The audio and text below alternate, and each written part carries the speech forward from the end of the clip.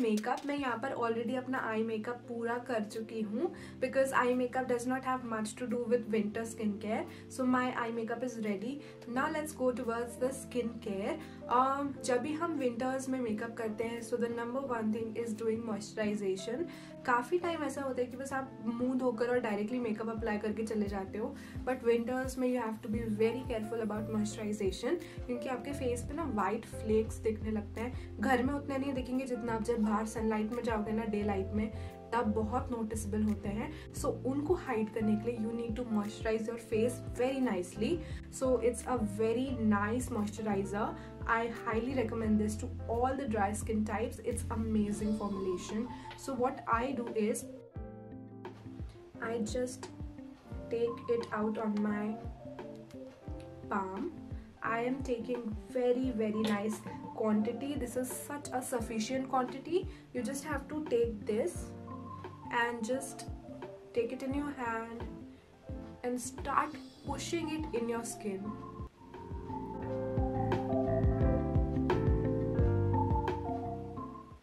after moisturising my face I am using a face mist यहाँ पर मैं use कर रही हूँ Avon naturals body care lavender spray and go instant hydration three in one hydro spins body face and hair spray so this is a very nice spray which you can use it entirely on your body including your face body and hairs it's a very nice fragrance इसमें काफ़ी अच्छी mist और fragrance है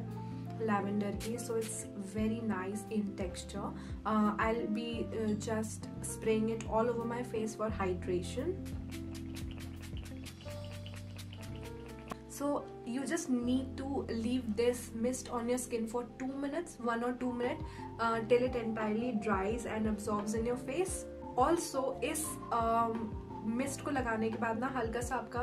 face sticky हो जाता है, जिसकी वजह से आपका मेकअप जो है और बेटर वे में आपके फेस पे अप्लाई हो जाएगा और बेटर फिनिश देगा। सो यर आई एम स्किपिंग प्राइमिंग क्योंकि प्राइमिंग की वजह से ना फेस ड्राई हो जाता है। So I am leaving that step अगर आपके पोर्स बहुत ज़्यादा है so you can go on with priming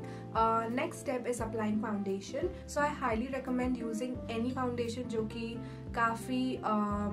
मतलब ड्यूई हो मैट ना हो क्योंकि मैट फाउंडेशन ड्राई करते हैं। So I have this K beauty foundation आप इसको यूज़ कर सकते हैं। काफ़ी लाइट वेट फॉर्मूला है और uh, काफ़ी ड्यूई है नेचर में हाइड्रेटिंग है नेचर में। So this is perfect for dry season which is winters and dry skin type it's a go to foundation for you guys I am in the um, 135N medium which is a correct correct foundation shade for my face. Um, but what if if you have guys only drying foundation या फिर matte foundation अगर आपके पास सिर्फ़ और सिर्फ़ कोई dry करने वाला फाउंडेशन है जैसे कि Milani it's a highly matte foundation then in that case आपको क्या करना चाहिए? I will be helping out in that case so what you have to do is just take the desired pump so you can go on with this um, good vibes ka vitamin C and vitamin B3 skin glow serum. It's a serum. You can use any oily serum ताकि आप अपने foundation के साथ इसको mix करके और अपने face को हाइड्रेशन दे सकते हैं। किसी भी मैट फॉर्मुलेशन को आप आराम से हाइड्रेशन वाले फॉर्मुलेशन में चेंज कर सकते हैं। मॉइस्चराइज़र uh, या फिर सीरम ऑयल ऐड करके। सो so यहाँ पर मैं ये ऑयल को ऐड कर रही हूँ। अराउंड थ्री ड्रॉप और अब मैं इसको अच्छे से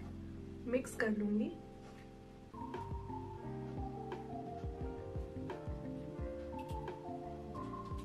यू कैन सी कितना शाइन कर रहा है। And now I will be applying it so this has instantly turn in to a dewy foundation देख सकते हो कितना शाइन दे रहा है ये। So you I am using my PAC का 265 brush it's a very nice foundation brush I am using it to apply my foundation entirely on my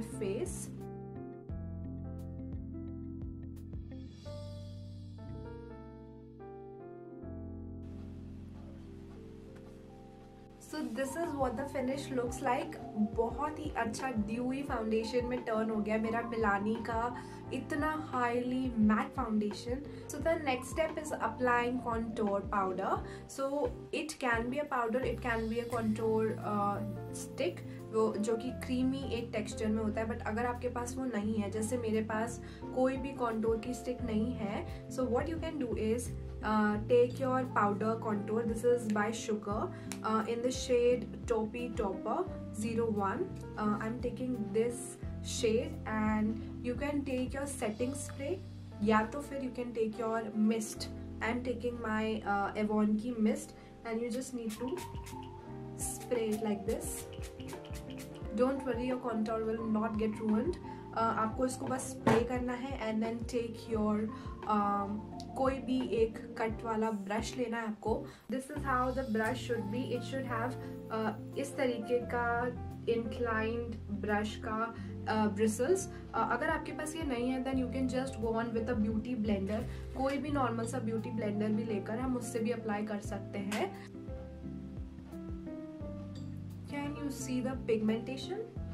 Oh my god it has very beautiful you can see कितना ज़्यादा pigmented हो गया है। सो so, हम इसको अपने cheek bone के नीचे लगाएँगे और अपने जॉ लाइन को और चिजल्ड करने के लिए इस जगह पर अप्लाई करेंगे।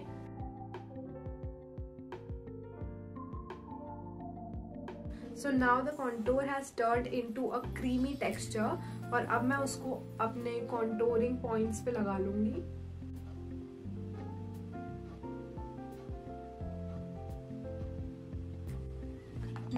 Help of the same brush, I'm just gonna blend it all up.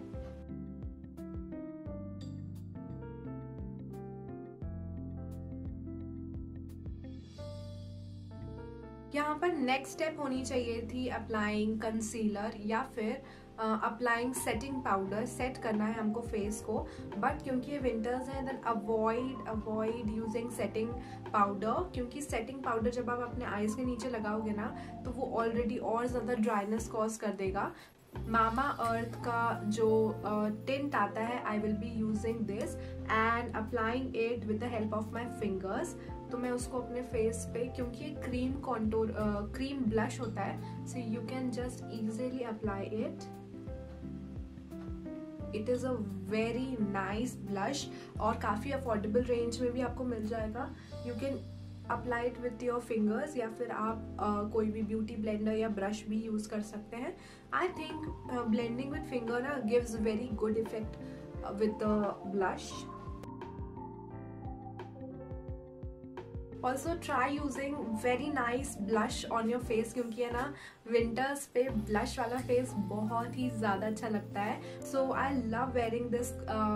creamy blush by Earth Rhythm. Now let's move towards our last, one of the last step, which is applying lipstick. So in winters, you can go on with any lipstick of your choice specially the dark ones अगर आपको dark lipstick लगाने का शौक है ना so this is the correct season for you guys क्योंकि इस season में बेस्ट लगती हैं dark lipsticks so I will be choosing a very nice lipstick यहाँ पे मैं यूज़ कर रही हूँ ये super stay matte lip gloss although this is not at all a lip gloss मैं इसको यूज़ करने वाली हूँ। काफ़ी मैट और ड्राइंग फॉर्मूला है but I already moisturize my lips nicely so going on with a very neutral shade